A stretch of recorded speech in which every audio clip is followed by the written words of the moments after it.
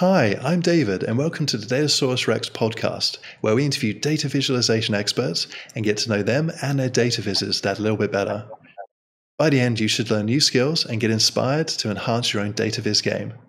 And today's guest is Ken Flerlage, who is a Tableau Zen master and also brother of Kevin Flerlage, who we had on the podcast a while back. So, welcome, Ken. Thanks, David. Good to, good to be here.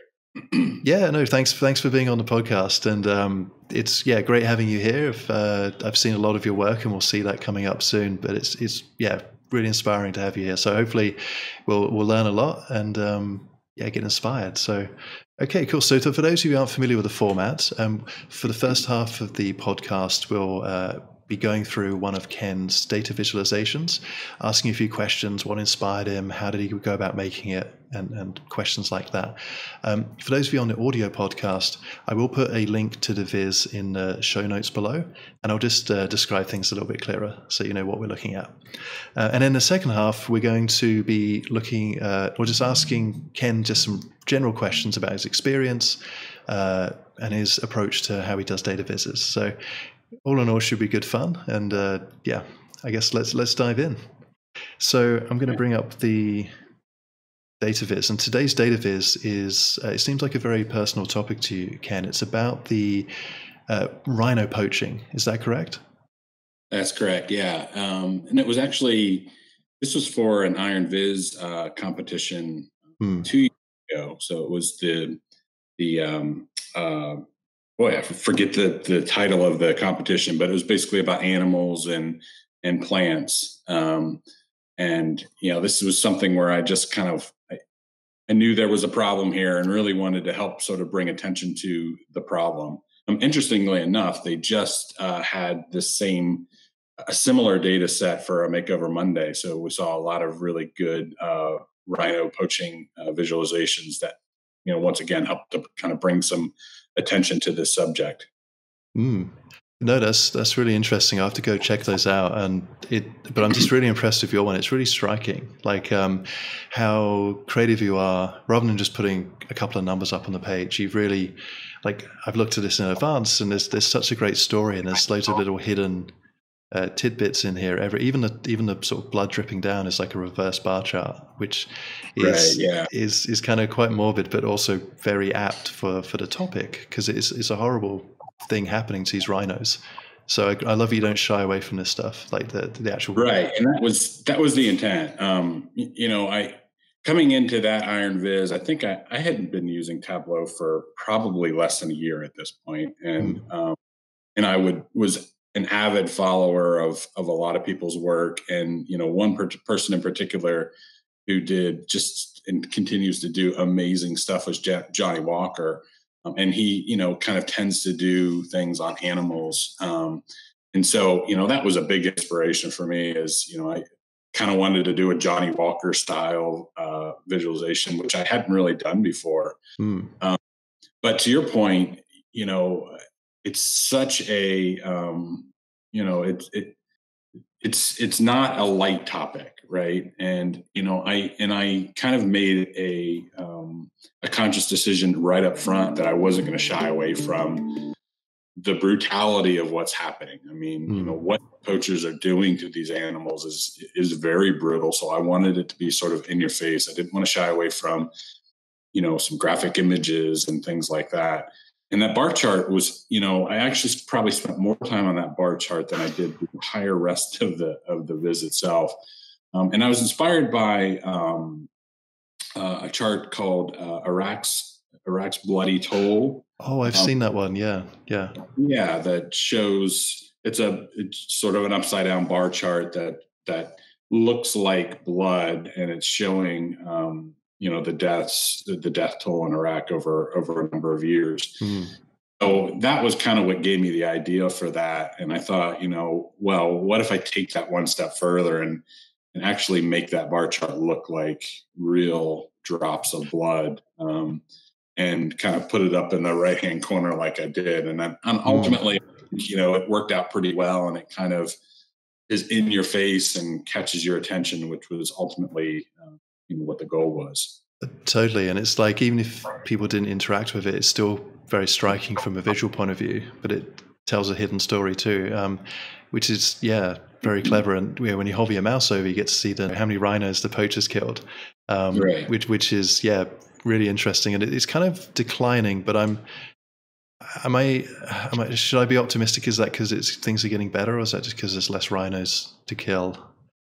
Yeah, I, that's a good question, and and um, you know, I, and I think part of the problem is the data that I had in there right now only t- goes up to I think 2016.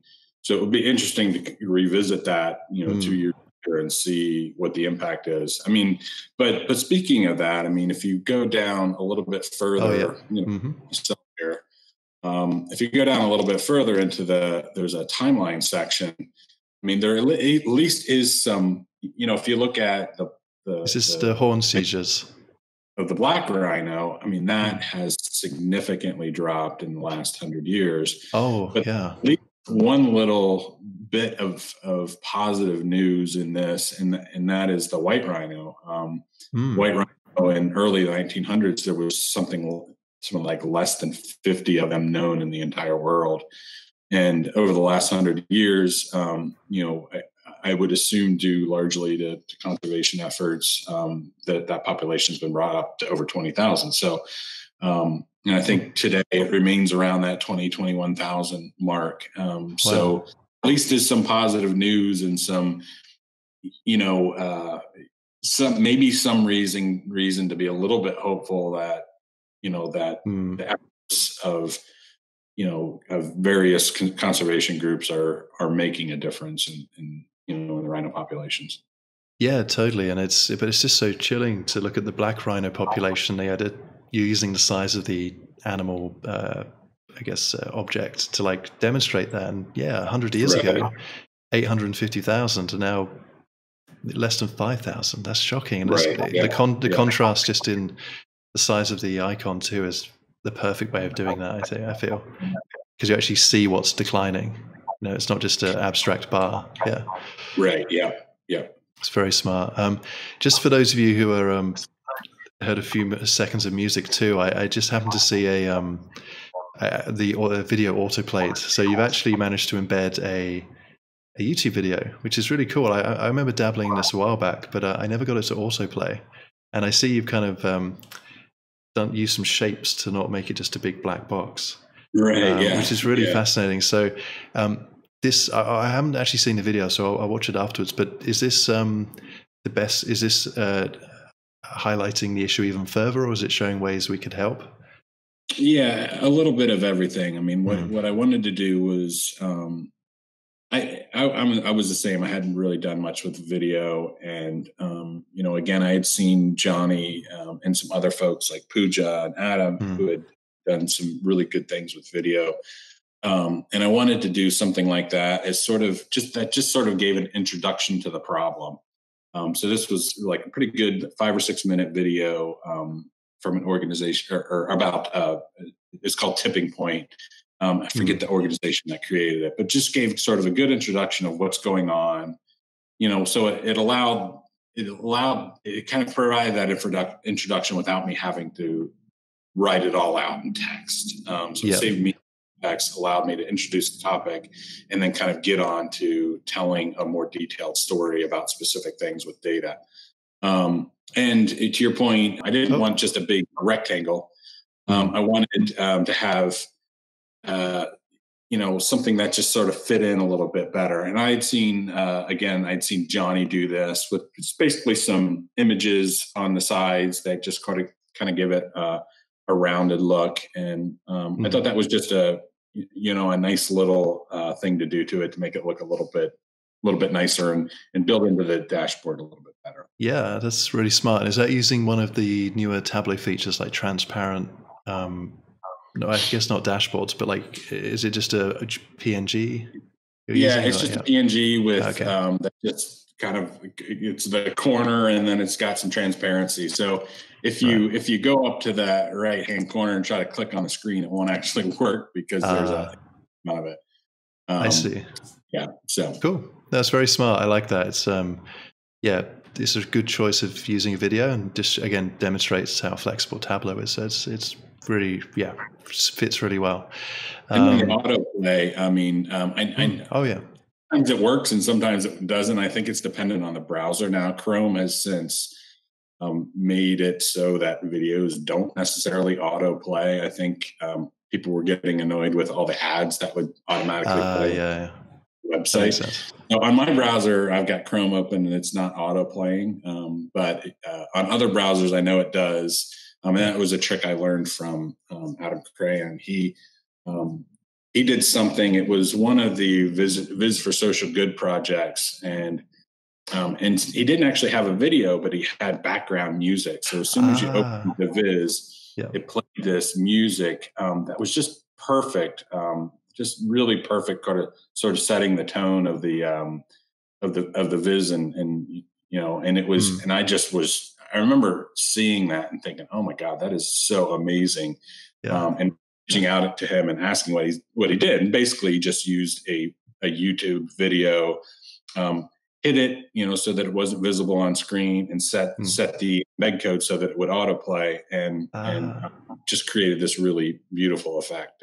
That's very smart. I'm actually getting flashbacks to when I was uh, had your brother on the podcast because uh, he we, we had a quick look at his Super Mario viz and uh, mm-hmm. kept accidentally auto playing the Super Mario music.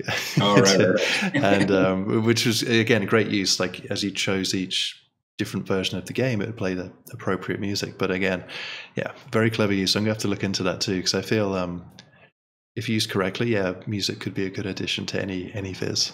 Yeah. Right. Yeah. And I did Perfect. I did something like that. Um, you know, as soon as I learned that trick from Adam, I I had built this Pac-Man uh, Viz, which basically just looked like, or sorry, it was Miss Pac-Man. It just basically looked like the video game with mm. the hmm. dots, and the dots um, indicated uh, high scores that were tracked on some um, some high score tracking website. Um, and I played the Miss Pac-Man music in the background, and it just it, it does have a really nice effect when it's used appropriately and not overdone. Yeah, yeah, totally. It's it's got especially. Oh yeah, I've, I've seen it here. I have to check that out later. Don't want to yeah. deaf, deafen my viewers again. okay, that's great. So yeah, we've got a really good idea of the inspiration for the Viz, um, and it's yeah really inspiring. I've learned so much looking at this, and we'll see more insights as we go through. Um, but before we move on, there's a lot of data sources, and I wanted to ask, how did you go about collecting the data and like choosing which data points to put in? Yeah, so um, that can often be a struggle for something like this is actually trying to find the data that you want i mean i knew i wanted uh, a handful of things. I wanted to know the number of rhinos that had been that had been um, killed uh, you know mm. due to over a period of time. Um, i wanted to know um, i wanted some statistics on uh, later on in the visit or some statistics around um, horn uh, horn seizures um, and then uh, and then and then of course there's the sort of population data. And those were the sort of three key things i knew i wanted to spotlight in this. Um, and then it was a matter of finding that data. And, and, data like this can often be as i said before can often be very difficult to find. I was lucky though. Um, you know after doing some some google searches i found websites that had this data pretty readily available. Um, you know, there's a whole website that just tracks uh, rhino poaching and poaching of other animals. So they had some good data and statistics for that. Um, and and it was you know the data was pretty clean, so it was really easy to work with. I mean, ultimately, if you look at this, there's not a ton. There really isn't a ton of data. I mean, it's um, you know it's it's pretty simple, straightforward data, um, hmm. and but anyway, yeah, I mean, it wasn't particularly difficult to find, and I didn't have to do a lot of cleaning, so it made my um, life a lot easier. I mean, certainly, um, you know, in other projects, it's a lot more work, and you have to, you know, you have to do a lot of that cleaning work, and you know, I I, I will use Tableau Prep to do a lot of mm-hmm. that sometimes, but um, in this, well, Tableau Prep wasn't even out at this at the time that I built it, no, no. but yeah, it was it was clean data, and it, it just really made it easier for me to to kind of focus on the design and the story. Amazing, and I, I think you you mentioned a good point because more data doesn't always mean better data. So I love that you've only you've only got like a, or a few data points here, or like you've only chosen a few insights from each one. Like you haven't tried to represent every single thing or every insight. You've kind of stuck to the key ones, which ultimately add to the narrative and story you have. So it's it's really powerful the ones you picked out, like um, the declines, the seizures of the horns. But is that that's by customs? Is is that correct or right? Correct. Agencies, yeah. yeah. So it's kind of it's it's kind of I feel conflicted. It's great it's going up because it means they're catching more illegal activity, but it also means there's a lot of activity happening. But it's exactly yeah yeah. Um, but yeah, so I just like yeah, you've really thought about what you want to put on the screen to tell this very succinct but nicely flowing story, and I um, it's, it's tough. I, I often find it's harder to not put things on the screen than put stuff on the screen. That makes sense. so, and this is a good right. example of that. Yeah. Yeah. No, cool, perfect, thank you. And I also love um, this seems to be a common theme of all the other Tableau Zen masters I've been interviewing so far. And um, you've used a hover text icon to list out your data sources at the bottom, which I think is a great idea. Um, yes, yeah, yeah, I do that a lot. I mean, it's it's you know, especially when you have a lot of data sources. Um, you know, it's it's if if I have one or two data sources, a lot of times I'll just put that in the in the footer. Mm-hmm. Um, this required a little bit more explanation. I mean, I wanted to have wanted to have a little bit of detail about what the visualization is showing, and then kind of show the the different sources and and add some notes there, um, just so people have a little bit more information. I also have another icon for the images, um, and and oh, you know yeah. I can get to that here in a moment, but I wanted to make hmm. sure to clearly indicate where these images came from um, and, and, give give credit to the uh, original photographers and, and, sites that that had those. Well, I guess whilst we're talking about it, might as well you know, flow, keep it flowing naturally. I noticed you have you have embedded a um, a gallery inside a Tableau Viz. And I don't think I've yes. seen this before.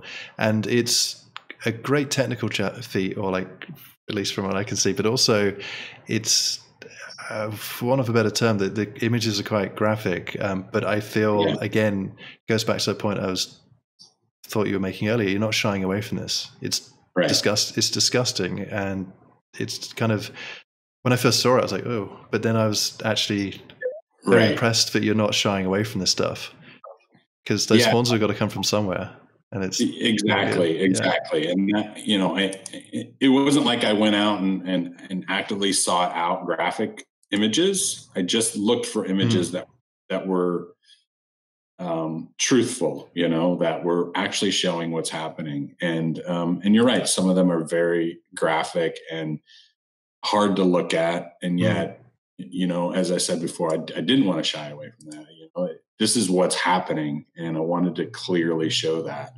Yeah. Um, back to the, the, the technique used here. Um, mm. So common theme uh, of this is is is uh, Jonni, uh, Pooja, and Adam again. And this is another thing I learned from them. Um, they I had seen them use these sort of in, image carousels, I'll call them, um, within their um, within some of their visualizations, and it was just mm a, a, great way to show off a handful of images in this sort of interactive way. Um, so I wanted to do that with this and reached out to Jonni um, and, and, just asked him how he did that. So he referred me to this tool called, um, oh, it was called uh, Syn, Cincopa. Um, and it's just a just sort of an image, uh, a web-based image tool. Um, you upload your images, you select a certain type of way to lay those out, and then they they provide you with the embed code. So it can be embedded in a website or really anything that where things can be embedded. So this is just a, a web object a web page mm-hmm. object in in uh, tableau that is linking over embedded to embedded content um, and just creates this really nice um, you know interactive way of, of flipping through a handful of photos um, about some of these uh, about what's going on um, and just give you a, a broader picture through images yeah, no, it's smart, and also uh, it facilitates interaction. So if you want to, I'm just doing it now. If I click on one, it expands out. I can see it in more detail, and it's yeah, it's not just sort of a gimmicky thing. It's it's actually going, hey, if you want to, hey, go look at it in more in, in its right. kind of gory detail, which is. I think it's a, it's a great idea because it, it's you don't want to like shove it in people's faces, but it's subtle enough, like rotating around. But then if people, it does encourage people to to then look at it in more detail. So it's that's a really clever idea. Um, yeah, that's this is yeah very good. Um, well, I'll make a note on one of these photos. So one of them is a photo of uh, Sudan, mm-hmm. uh, who who was the last known male white rhino. At the time I built this, he was the last known northern white rhino male. Um, so northern uh, white rhinos are broke up into two different sort of subspecies: mm-hmm. northern white rhinos and southern white rhinos, and at the time he was the last male white northern white rhino so that was pretty important because he was the last one um, who could uh, you know produce offspring mm. um, I believe it was six months ago a few months ago he he just died so the last of uh, the last northern white rhino male um, has passed away so it, it you know it it's oh. probably time that that subspecies is probably over time going to um, you know sort of cease to exist unless they can find ways to breed it with uh, other species or something like that. Oh, that's terrible. And I've got him up on screen now. He he's not looking too happy. I guess being the last one around, it's not great. But that's that's yeah, tragic. see that I, I, believe they actually removed his horn just. And, and that's something that they'll do. Uh, that they're doing more of is removing these rhinos' horns, so that they so that uh, poachers do not try to attack them for the horn. So oh. that, you know, the, um, you know, it, it, protects the animal from poachers by doing. Yeah, that. that's interesting. I guess it is if the, if it's going to get removed, it's better in a humane way, but it's right. still yeah. sad that has to happen though. It's but yeah, I can see why they've done it. Wow, interesting. I'm learning even more now exploring this. Thank you. This is yeah, a powerful viz. Um, Okay, cool. So moving on to the next question, um, we've already spoken a little bit about it, but um, how do you go about? How did you approach the creation of this viz? Did you like dive into the data points and um, see what insights there were, or did you already have a rough idea? And like, yeah. what was your process for approaching this? Yeah. Um, yeah, so I, I, think uh, I'm maybe a little unusual. I, I, I, hardly ever have a picture of what I want to build, or and a lot of times I, I don't even know what data I want. Um, you know, sometimes I just have a basic concept, and I knew a couple things going in. I knew I wanted that sort of Jonni Walker animal visualization style. Um, I knew it was probably going to be long form because I wanted some text to some explanatory text and and kind of wanted to build it out in that fashion. Mm. Um, and that's kind of all I knew coming into it. Um, you know, so um, it, you know, the first, the very first idea I had was that that bloody bar chart, um, and and so I, I spent a whole bunch of time building that, and then over time, just sort of added pieces to it and rearranged things. I mean, um, I think you know there are three or four different sections, and I think they were probably all in completely different orders at at some point. Um, and then, you know, as it all came together, I started rearranging things to sort of better tell the story in this sort of phased way. Um, so, yeah, I, I, mean, I probably, I'm not sure how how tall this thing is, but I probably resized it in Tableau 50 times, you know, because it kept running out of space and mm. adding space and then resizing it and adding more space. Um, wow. You know, so I, I don't ever really, hardly ever come into it with this this totally complete vision of what I want. I don't draw it out. I just sit down in Tableau, pull in the data, start exploring it, seeing what insights I can find, and then start building something and um, and going from there. And that's yeah. this was no exception to that. No, that's that's cool. And I, I found um, with all the other podcasts, there's no right or wrong way of doing this stuff. It's all whatever feels natural. So if you're comfortable with Tableau and you can kind of play around, explore, and then start building stuff, there's yeah, that's a perfectly valid approach, and I, I, I find myself doing that quite a bit too because you don't know what you don't know, right? So you kind of kind of like build stuff and then see what sticks, what looks good. Um, and I think what, that's what's, yeah. what's great about Tableau versus maybe some other um, other mm. tools or you know coding libraries. I mean, I think if you're if you're building something that you have to write code to build, right you have to go into that probably with a much better plan of of how you're going to lay this out yeah. what you're trying to build so there's you know that planning stage i think probably takes up a lot more of your time and, yeah. and probably you're using other tools to wireframe it or something like that and to me that's uh, probably one of the greatest things about Tableau is you can connect that data and then just start exploring it. And you can create a chart and you can, and you know, in, in seconds you can create sort of mm. these hmm. basic charts to to figure out, okay, this I think this will work or this chart will work, and oh, this yeah. is something you know, this chart gives me this, this this really interesting insight. This is something I want to use, and then you can then take that and you know add the design and, and and add those extra bits and pieces to really make it um, you know something that is that, that people want to look at and spend time with oh yeah no totally it's it's yeah that's one of the reasons i like it you just yeah be creative it's free form yeah you just play around you, you make 10 visits nine are bad you only wasted two minutes like it's whereas right, a lot yeah. of programs yeah okay so next question um, i guess we've already got quite a few great insights which you've been sharing as we've been looking through this viz. Um, but if you had to pick the number one insight from this viz, what what would it be? And please share it with us. Yeah.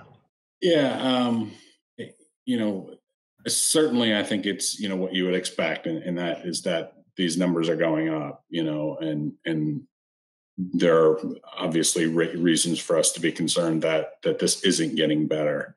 Um, but at the same time, as I mentioned before, there are these these small little uh, pieces of of hopeful information in there, um, such as the white rhino population coming back from you know near extinction in the early 1900s to um, you know uh, 20,000 or so. And you know, it's not it's not a huge number, um, but it's mm. it's it's significant growth. So I, I think to me, I look at this, and even though it's um, you know, it's a very sad story that's being told. I, I think it, there is something positive that we can see in this. That there is an opportunity that if we continue, you know, to support these organizations that are doing work to to to fix this problem, that um, it is a fix. It is potentially a fixable problem, and and I think that you know is more than just um, rhino populations. It's it's you know it's everything. You know it's it's other uh, populations of animals that are near extinction. It's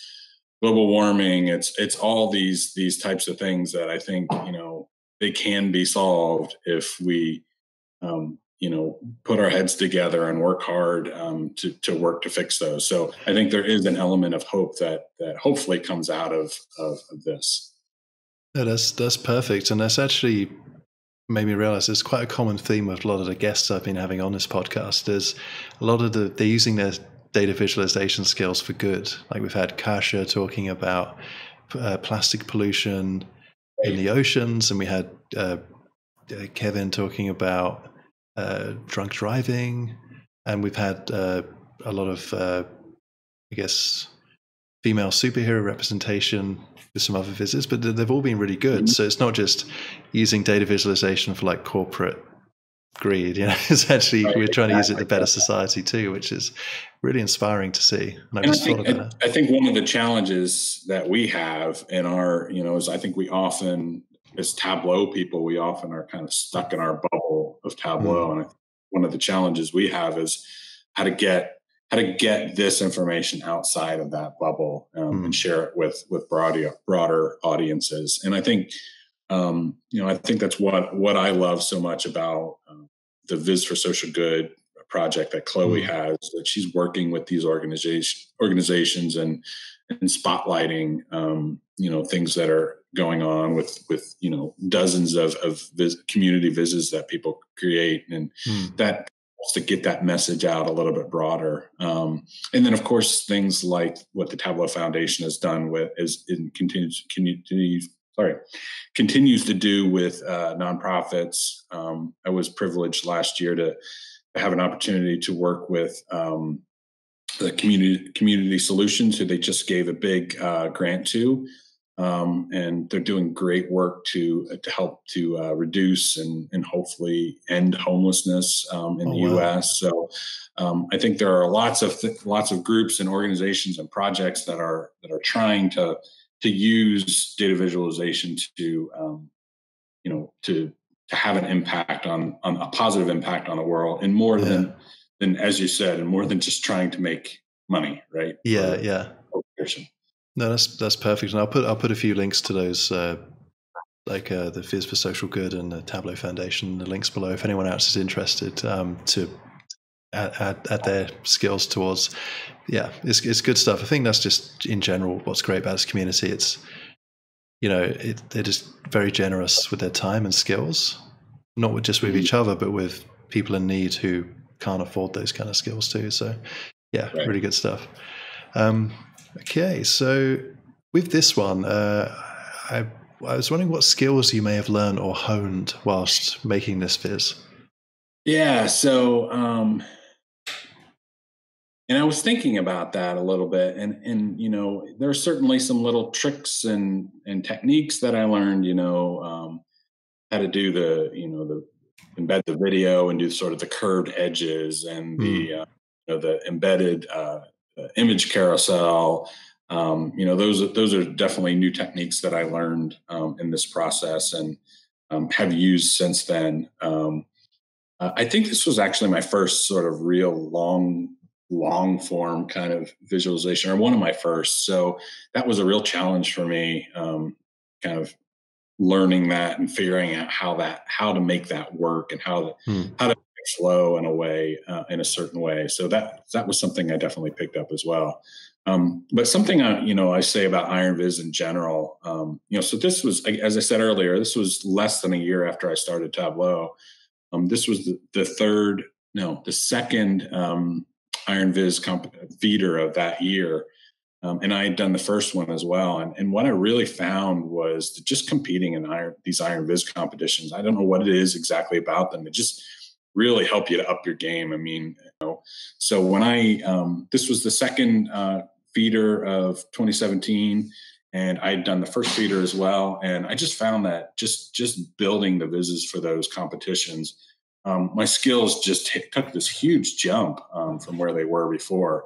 Um, and I don't know if it's just the nature of sort of something that's competitive or or that it's something that you know I'm willing to put more time and effort into maybe than some of my other personal projects. Mm-hmm. Um, it was just amazing you know the the jump I took um, in competing in these these couple of feeders that year um, from where I was before. And so I you know I'm I've always been big on on on on um, encouraging people at all levels to jump in these competitions. You know, it's not about winning; it's about you know getting this opportunity to do something good and interesting, and also mm. really, it's such a great opportunity to, to boost your skill set in a way that you just can't at least I personally had had never been able to do without something like this this competition. Yeah, totally. It's like a lightning rod or like a, a focal point to like hone your skills. And at the risk of sounding cheesy, I think anyone who enters, everyone's a winner because, like you just said, you benefit learning skills. It's kind of yeah, it's really corny, but it's it, it's true though. It's like it's, you shouldn't feel like you've lost if you don't win. It's you've still built this amazing, well thought out viz, which you can apply right. those skills back to your job or again charity work and that kind of stuff. So it's yeah, no, I like that. That's a, that's a good skill to learn. It's not all just about the technical stuff of Tableau. It's also about how you approach things. And yeah, that was perfect. Yeah. Cool. Um, okay, so you actually have quite a few projects, and we'll, well, I'll scroll through those on the screen, which which is great. Um, I find it really inspiring.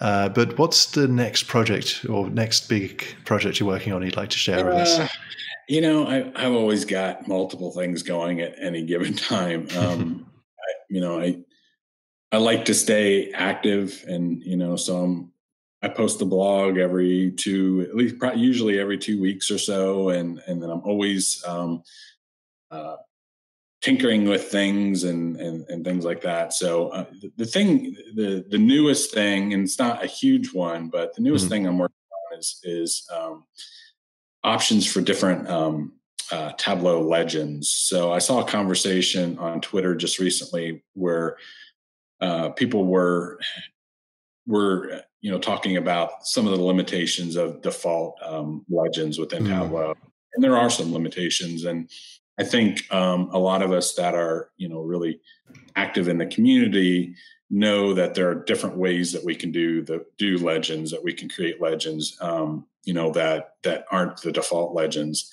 um, and and i realized after reading through that that twitter conversation that there's probably a lot of people that that aren't active that don't understand um, that there are all these other different ways that you can create your legends. So mm.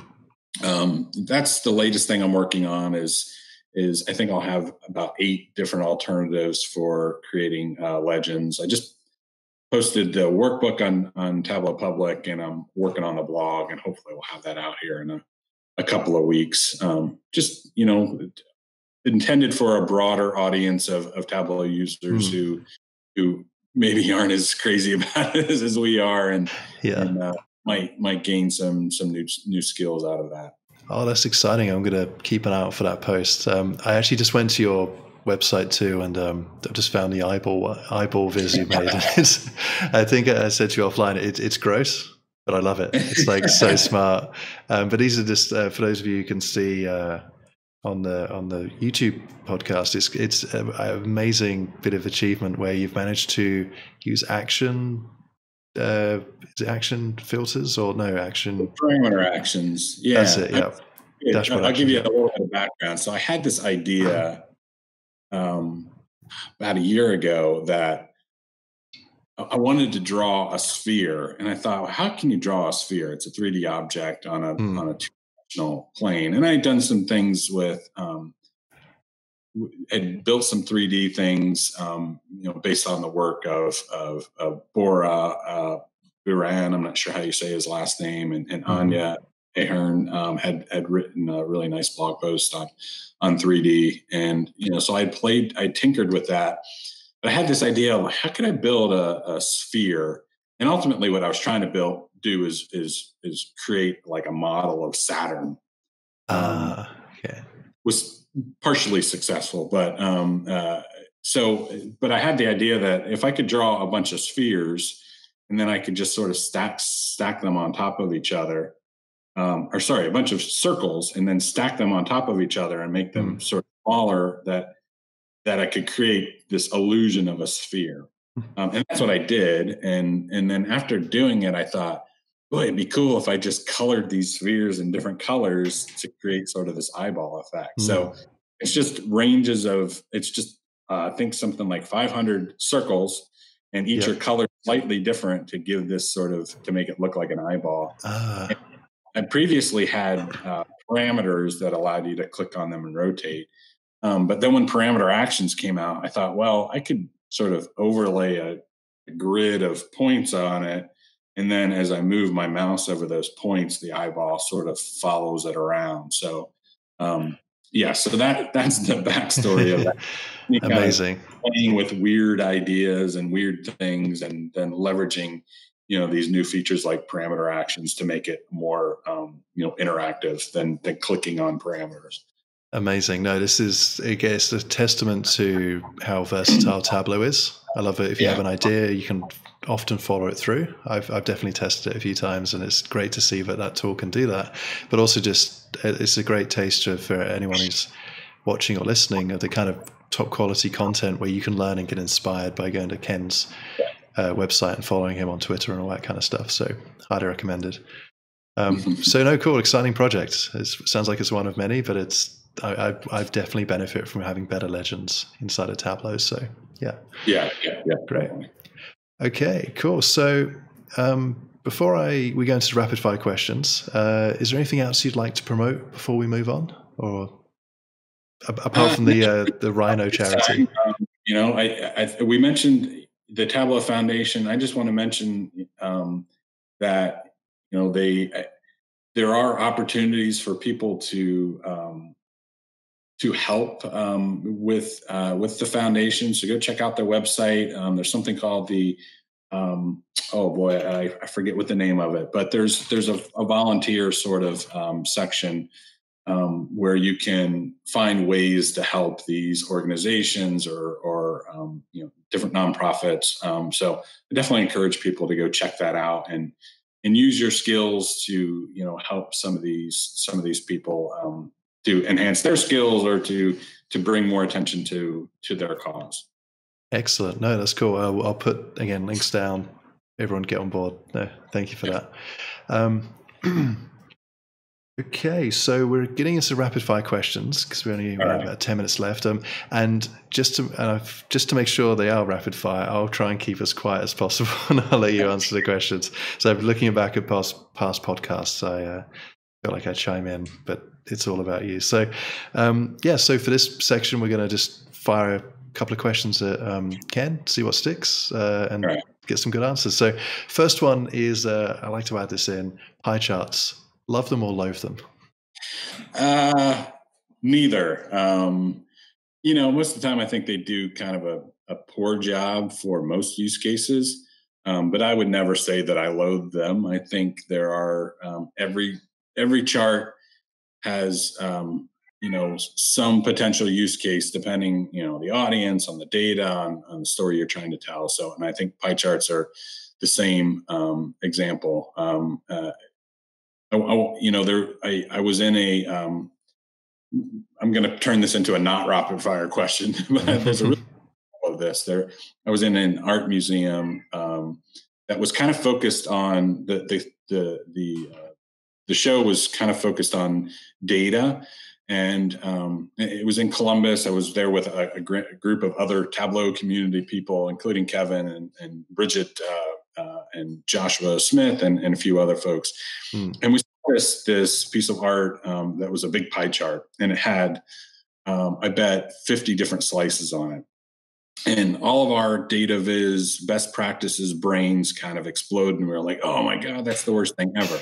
and then we hmm. stopped and we looked at it, and we we we took a minute to understand what it was, and and basically it was half of the pie was one color and then the other half was was a whole bunch of other slices the other 49 slices and as we as we sought to understand what was going on what it was showing was um, military spending uh, by countries in the us or around the world and what we realized was that 50% slice was the us and so we all of us sort of turned around and said, "Whoa, this is an amazing use of a pie chart here because it really shows how one country's military spending dwarfs every other country in the world. It's as much as every other wow. country. Um, so, so I, th- I, think we just have to be very careful about bashing certain charts and saying, mm-hmm. you know, never use these kinds of charts because there always are good use cases and it, and as i said it all depends on you know your audience and the data and the, the story and the insight that you're trying to to share with people yeah totally no great answer right there's a right tool for the right job and sometimes pie chart can fit that. So that's that's awesome. Uh, next question is which publications do you follow regularly for data viz? Yeah um, you know, so I'm always scooping up uh, DataViz books and you know reading um, whatever I can find out there. Um, you know, I, I, certainly pay attention to a lot of the Tableau uh, community blogs. I read almost anyone that I see, um, but there are a few people that that you know I consistently look at every read every single blog that they post. Um, partially because I've learned so much from them over the years, um, and I just continue to learn so much from them. So people like Ryan Sleeper and Andy Kriebel and uh, Jeffrey Shaffer, um, who I think you had on the, the podcast, right? I did. Um, I think he was on last week's one. So right, yeah, right, yeah.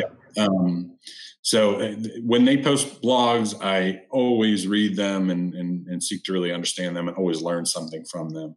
Um, I've also, you know, been been following um, the Data Visualization Society pretty closely and have joined their Slack channel. And I, I try to read um, the blogs that they um, that they post. Um, actually, was honored to have uh, written a blog for them just recently as well. So um, yeah, so I, I, follow that pretty closely. It's a really good way to kind of step outside of of just the Tableau community and learn and see what other people mm. in the uh, community are doing. And can anyone follow that society? Is that like yeah? I mean, it's for people that do this as a as a profession, you know, right. or part of their profession. So, mm-hmm. but yeah, anyone can join the Slack channel, and um, they have a number of different um, uh, sub channels or whatever you call call these things in Slack. You know, so if you're interested in historical data visualization, there's a channel for that.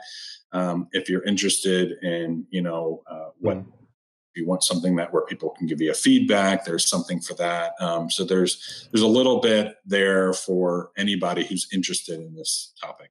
Cool, that's great. Okay, I'll have to go check that one out. Nice. Um, next question is, what is your number one Tableau trick for Tableau newbies? Right. So this might not be a trick, and and I, if if I remember, I think Jeff uh, may have given a similar answer. Um, but you know the the thing I I like for Tableau newbies to realize is that Tableau isn't just um, a place where you can create charts. It isn't you know like you put your data in, you click on a chart, and boom, you have something. You can certainly do that.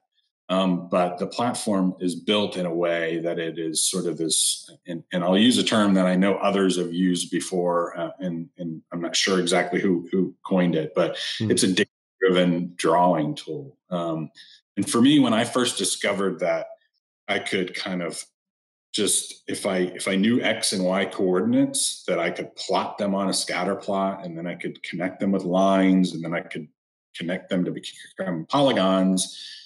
That to me, when I learned that, opened up a whole new world of of what I could do with it because there's really no limit to it. it you know, if you if you can figure out those X and Y coordinates, you can you can draw anything, and then if you can apply math to that to sort of automate the calculation of those points. You can draw curves and and you know all these crazy things like Sankey's and um, you know. So to me, you know, that's the biggest tip is kind of understanding that. Sure, you can plug in some data and choose a chart and really quickly and easily have this, but there's this whole other world of things you can do when once you understand how the platform works under the covers.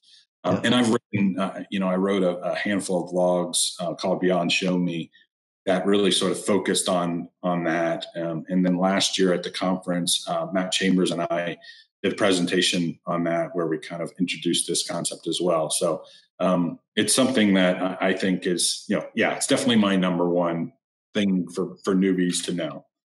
Cool. No, that's great. Yeah, just not being limited or having an open mind about the tool, but also trusting from other experts that it can do the stuff which it promises, or even it's not meant to do.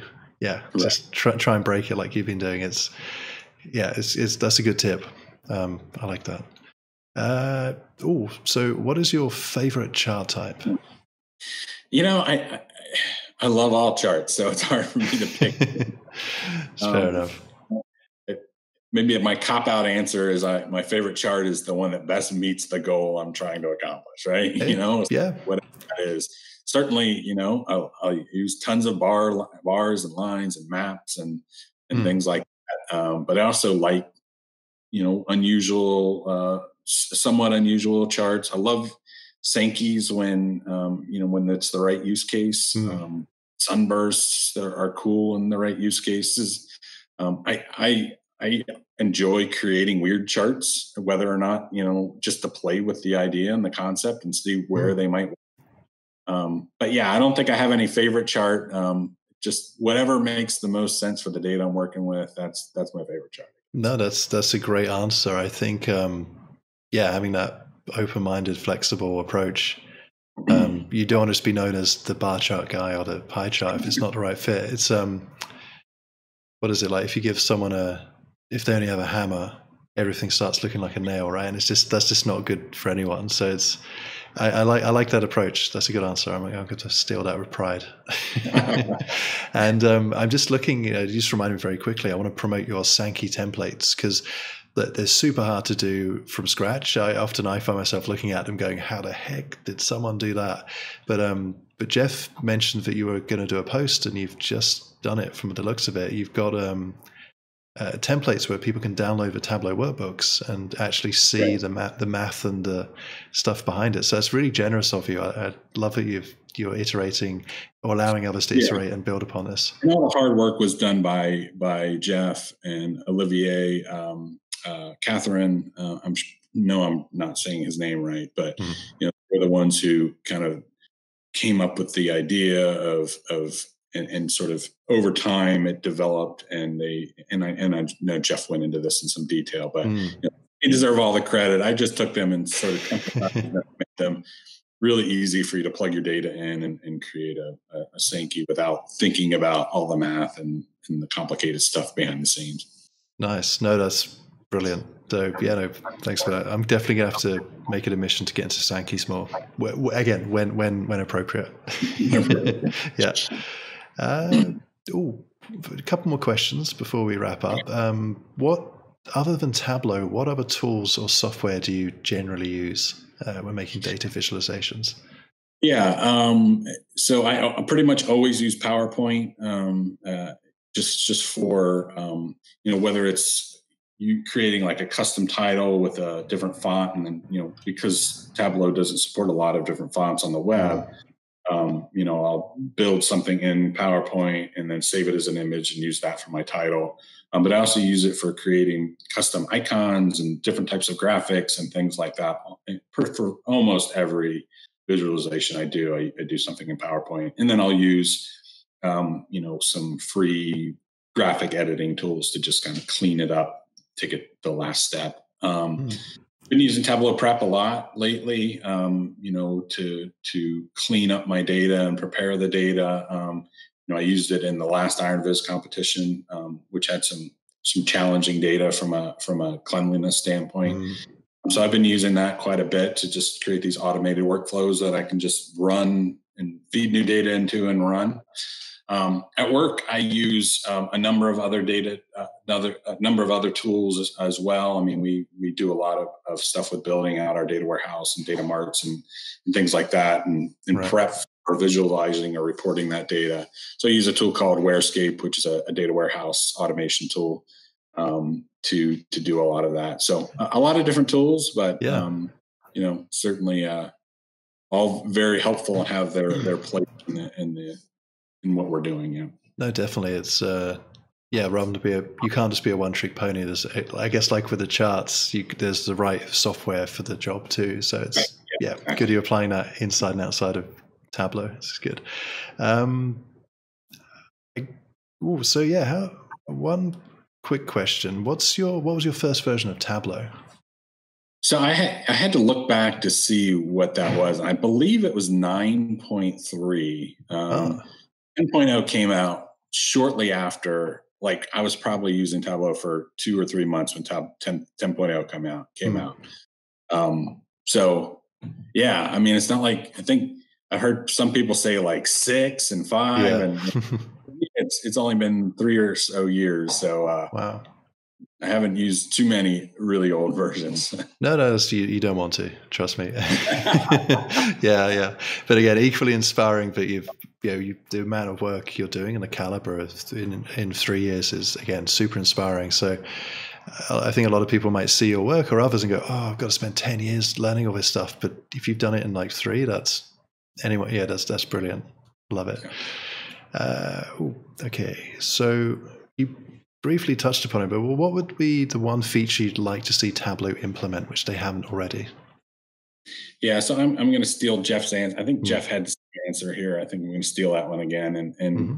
just like to see greater uh, font support. Um, you know, whether it's web fonts or something like that, to where we can, you know, so that I don't have to build these titles and PowerPoint and bring them in as images. But more importantly, you know, they could just use different fonts within mm text based areas. Um, I think you know, and, in tooltips and and all those things. I think that would open up a lot of possibilities. Um, so that's that's definitely something I would like to see. But I also just kind of want to say that you know uh, I have so much respect for for the the Tableau development team. I mean, oh, they yeah.